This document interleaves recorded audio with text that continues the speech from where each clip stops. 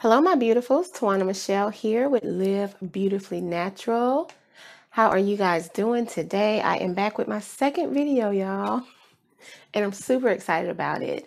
So, what I want to talk to you guys about today is basically what going natural meant for me and how it's about more than hair.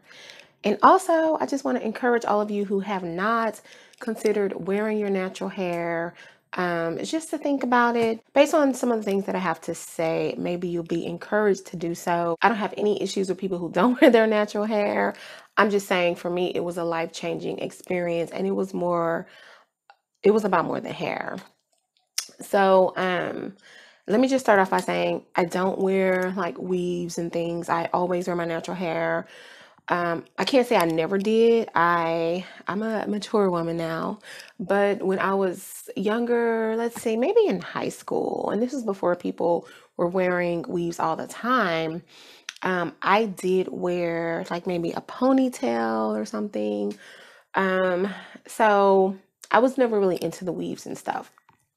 But let me tell you when I decided to go natural and the reasons that I did. Um, as I said on the last video that you may or may not have seen, check it out if you haven't. I did start my natural hair journey in 2009. Prior to that, I have been relaxed for a long time. And I wanted to go natural because, you know, like everybody else who had been wearing relaxers for a long time, you saw probably that your hair was getting thin, maybe it was breaking off. I also used to color my hair. And so not only was my hair relaxed, but it was also chemically colored, a honey blonde color I wore for, wore for a long time that I love, love, love, love. But I had to give it up for healthy hair. So when I started my journey, it was about the hair. I wanted to grow my hair back. I wanted healthy hair. I wanted thicker hair. Although I have fine hair, it never got really thick. But I just wanted my hair to be as as beautiful and healthy as it could be on its own. Also around that time, I started feeling just like uncomfortable with myself. I started feeling like I was doing things to make other people happy, doing things to look how other people, I think, expected me to look. I was looking at society's standard of beauty. And, you know, people had straight hair, they had long hair, they may have had lighter hair than me. So I wanted, I guess, to look how I thought I was supposed to look to be considered beautiful. And around 2009, when I started my journey, I started to feel like I wanted to get back to my true self. This revelation came a little bit later. It was really, it was initially about the hair, but in hindsight, I can see that I was in a place where I was wanting to get back to my true self. And so um, I transitioned and I became probably fully natural in about 2011. Took me a long time because I wasn't chopping off all my hair. But um, when I did, y'all, and I first started wearing my hair in its natural state, the way it grows out of my head, it felt like a spiritual transformation for me.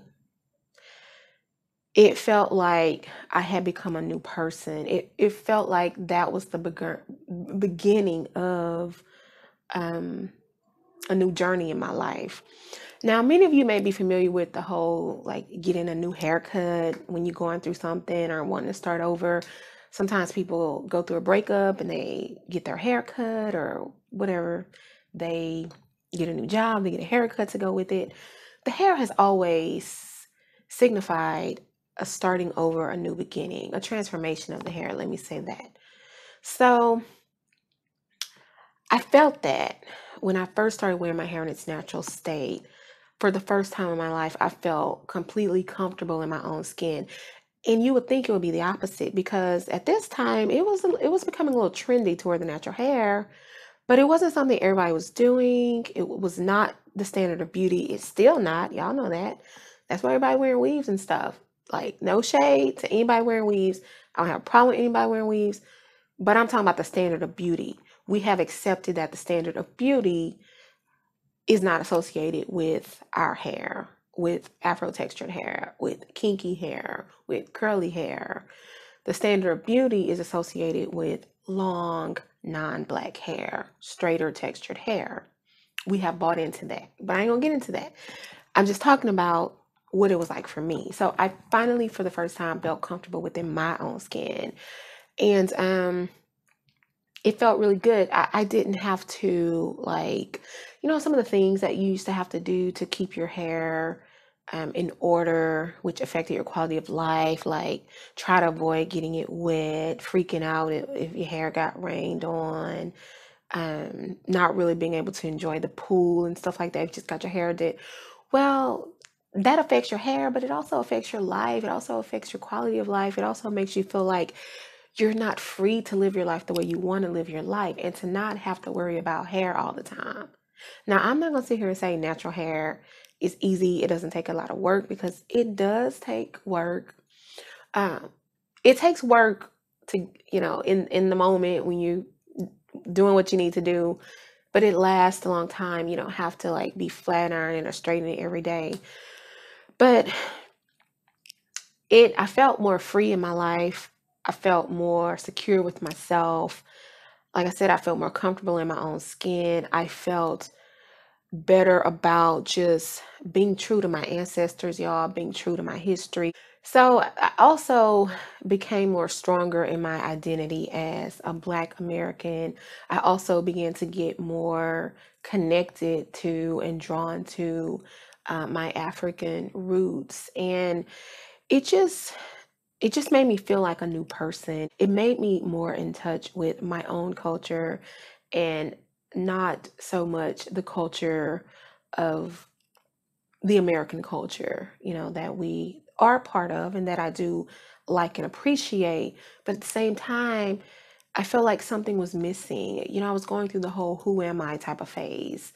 And um, I found me, y'all. And it's it's so interesting um, and incredible to me that I found myself through transitioning my hair to its natural state. So I'm telling you guys, if you want to just feel comfortable with yourself and feel free and feel in touch with who you are and your ancestors and not have to worry so much about hair and also to feel beautiful as you naturally are, then consider wearing your hair natural. And I'm not saying don't ever switch it up. Sometimes I do get tired. I'm like, I look the same all the time.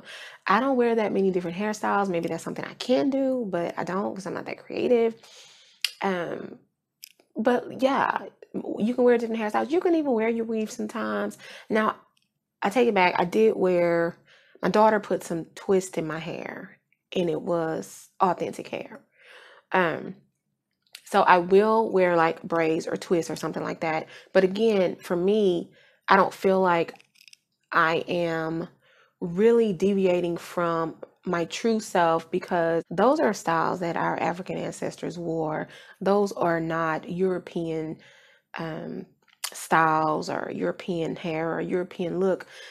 This is something that also helps me feel, you know, like I'm being my true self. So I'm just saying, consider it, y'all. Um, and not only for the hair, if you want healthy hair, then you, you will have healthier hair, but also you will feel so good about who you are. You will feel so connected to yourself. You will feel so secure with yourself and comfortable in your own skin and not have to worry so much about what other people expect of you, what other people expect you to look like. Now, I do keep up with other types of trends. Um, you know, that are appropriate for me, a woman my age. Um, and I do like makeup, as you can see. Um, I think makeup is fun. I think it is um, artistry. I think it enhances natural beauty. And um, hair does the same thing. So I'm not saying you can't add to what you already have. I'm just saying consider it sometimes. Consider just being free with your hair and free with yourself. And honey, you will thank me later. So uh, leave a comment down below, y'all, and let me know if you've tried wearing your natural hair, if you already wear your natural hair, if you have, and what that's been like for you. And um, yeah, I'd like to know if it's changed or led to any changes with you as a person um, spiritually. So if you like this video, smash that like button, y'all.